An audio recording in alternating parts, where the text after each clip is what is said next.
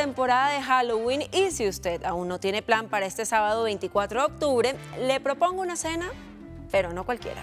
Se trata de la cena del misterio Asesinato en la Casa de Incógnitos, una noche en la que los invitados podrán transportarse al imaginario de la reina del crimen.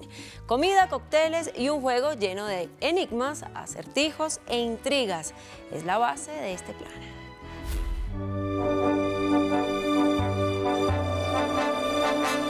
Este lugar empezó como una panadería y pastelería, pero hoy ofrece un sinfín de productos para deleitarnos. Y precisamente estoy con el creador de esta gran idea y de este gran lugar espectacular, majestuosidad, puedo decir.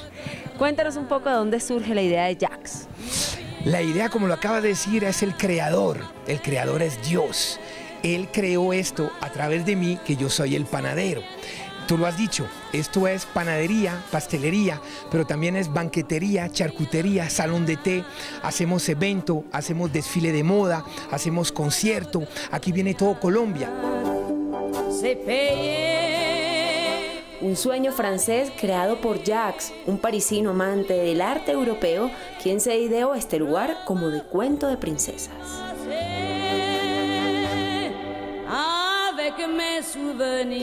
Tú tienes aquí una cultura que es una cultura actual. Hice la puerta de Ratatouille y yo tengo Ratatouille detrás cocinando conmigo.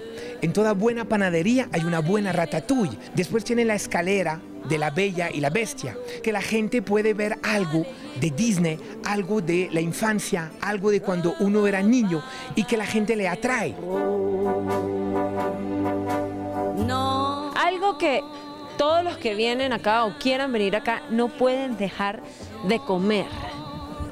Bueno, tú tienes aquí, todo es bueno, pero obviamente eh, los clásicos son un buen, un buen croissant, una buena baguette, una buena miloja, un eclair de moca, eso es tocar el cielo, meterlo en tu paladar y desaparece porque es felicidad.